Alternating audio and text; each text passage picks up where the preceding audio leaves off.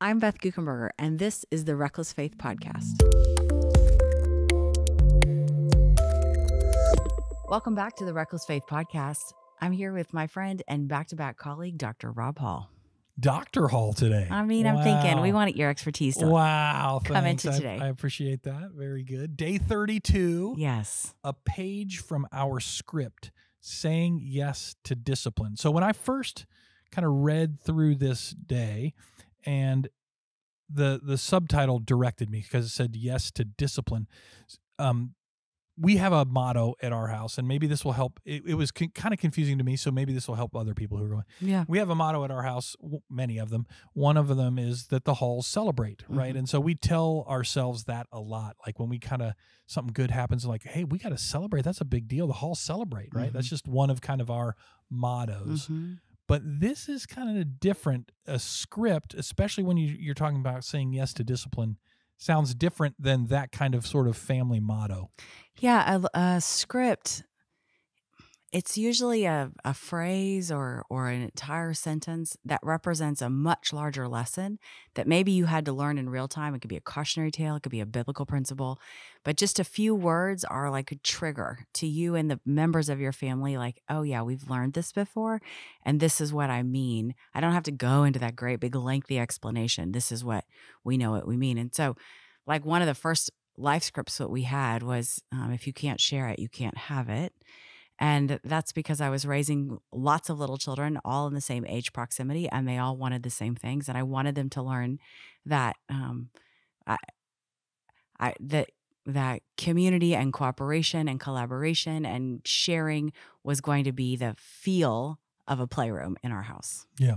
So they're similar, right? And I guess I can see that now that even the Halls celebrate was a way for us to discipline ourselves Mm-hmm, in something like, hey, we could do anything as a result of what's happening right now, mm-hmm. but we celebrate. Or in the case of some of the the scripts that you use, it prompted your children or your family to act or think or behave in a particular way that your family valued. Yeah, it started out, you know, about their blocks, and today they're all high school and college students. So it's about sharing the vehicles that we have in our home, or it's about sharing bedroom space, or about sharing their friends on a Friday night, or it's about it's it has grown into larger things. Right. But if I said if you can't share it, they would all finish that sentence. That means you can't have it.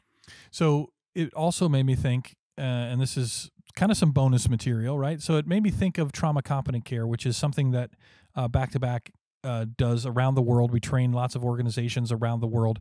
These scripts, obviously, you wrote before you knew anything about trauma competent care, but the same principles apply when you're working with vulnerable kids or kids who come from a trauma background or any of those things. Yeah, our T-shirts this year at Back2Back um, have three life scripts that were originally authored by Dr. Karyn Purvis. She now is home with the Lord, but she really did a lot of pioneering work in this and helping to rewrite the thinking of kids who've been from a hard place and who are now trying to integrate into what hopefully is a healthy family unit.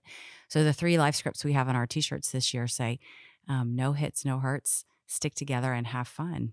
And those all represent um, principles, ideas that if we could say, if we just, we would teach those pr- principles in a much larger way, kind of offline, not when it most matters.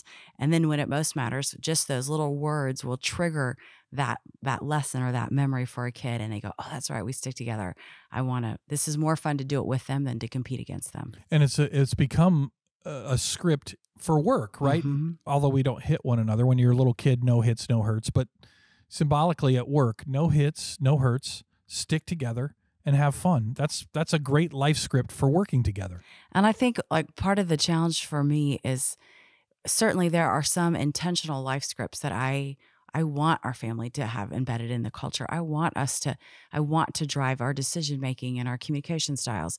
But there are also some life scripts that kind of sneak up on you and they may or may not be what we want them to to be and and to be kind of constantly editing and and contemplative and introspective about what what kinds of phrases and principles are floating around my kitchen table or floating around my workplace and is there something that's kind of snuck up on us that we're like no I, that, that's that's not what i want it to look like that's not i don't want to reinforce that and i need to work hard to discipline that way of thinking out of my mind and replace it with something healthier i want to jump right to the action because I, sure. of, of all the action steps that we've had up until this point this is day 32 this one seems like it may be the hardest. Okay.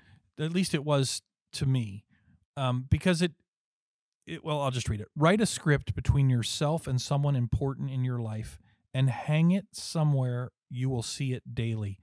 So to take this kind of conceptual idea, like oh, mm-hmm. to to whittle that down to a script, just a few words, probably will take people some i'm sure that they have thoughts in their head like oh yeah i'd like and it's like four sentences mm-hmm. i'd like mm-hmm. for this and this and this and this.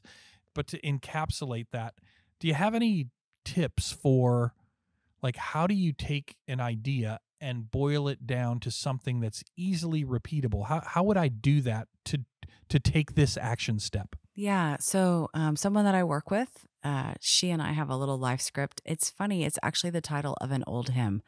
Um, it's onward christian soldier is an old hymn some of our listeners may or may not be familiar with, but it's that the the song talks about you know staying staying in the fight and persevering and understanding you're about something bigger than you and fighting in a battle and not retreating and going on and and um, when this um, this uh, coworker and I find ourselves overwhelmed with a task or discouraged by a setback or uh, disappointed or whatever, like something that would make you not go onward. In fact, it would your temptation is to retreat. We um we say to each other, "Onward, Christian soldier," which is like, "Okay, I got this. We got the mm. Holy Spirit. You got the Holy Spirit. Let's keep fighting." And sometimes we'll say it to each other, you know, when we're not together and we know the other person is working somewhere on their own and feeling alone and feeling defeated. And sometimes we'll say it like, "Okay, here we go. Onward, Christian soldier." Like it's it just is like a it's a reminder. Yeah. It just represents something to each other. So it could be one practical step for people who may get stuck in this action step, sort of like I did, is think of a phrase that you already know mm-hmm. that carries particular meaning. And now when you say that phrase you, is... you can give it that meaning. It's like a shortcut mm-hmm. to onward christian soldier. Put your head down. Let's get the work done. This is not going to be fun but or whatever you've encapsulated all that in onward christian soldier and the person you're with goes oh yeah i know what that means. We're about something bigger than us. Yes gotcha. So that would be a tip for people to perhaps make this action step more tangible. Yes and yeah and and i think there's actually some power. I read a study one time about uh, a interesting sociologist studied the idea of inside jokes and and the power of inside jokes and how they can make people feel left out and excluded um, and that's why we typically kind of discourage inside jokes. But he was stu- his the results of his study were that for the people that share that inside joke it's actually very powerful. Like it it's an it has a mm-hmm. really powerful inclusion benefit. And i think in some ways um, as long as um, you don't use life scripts to to make people feel like um, they're not a part of whatever it is that you're doing. Like mm-hmm. if you were with me and I was with my coworker and I said, "Oh, we're Christian soldier," I might need to turn to you and explain to you what that means. But but you don't want to negate the the power of how that draws people together. Yeah, there's a bonding that I know what you're talking about and you know what I'm talking about. So let's we get, have our own language. Yeah, let's get it. Let's get it together. All right, there you go. Day 32 I, I think this is again there's some there's certain chapters that I think are more easily shareable or more um aptly shareable. I think this is one of those. Yeah. I think all kinds of people are looking to say yes to discipline. I need focus. I need discipline in my life. So if you're one of those people and this has resonated, share today's podcast with somebody, even though it's day 32. Share it with them and and perhaps they'd be interested in learning more about the 40 day journey. So, hey, if you do have a copy of Reckless Faith, the 40 day journey to saying yes, hopefully our conversation made today a little bit easier. like, hey, I didn't know how to do that, but maybe it did, maybe it didn't. And we really hope it'll lead to a great conversation with the people around you. If you're here and haven't yet gotten a copy, because someone did what I just suggested, right? And they shared it with you. You can find the book on Amazon or you can find the book and other resources at backtoback.org slash 40 days. That's B A C K, the number two, B-A-C-K dot org slash 40 days. And I just want to thank all the listeners for being on this journey towards a more reckless faith with us all. And until next time.